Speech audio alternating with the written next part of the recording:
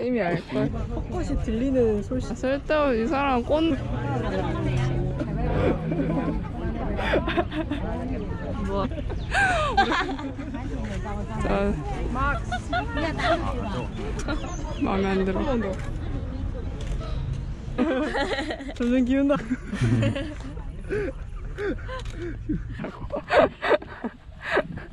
이미 알걸. 큰 세대라는 거지. 헷갈렸어. 피아노 소리도 나오잖아. 뭐 늘어는 거예요 지금. 어, 어떡하지? 내가, 말도 안 돼. 내가 아는 유행. 바보 같은데. 더 붙여요.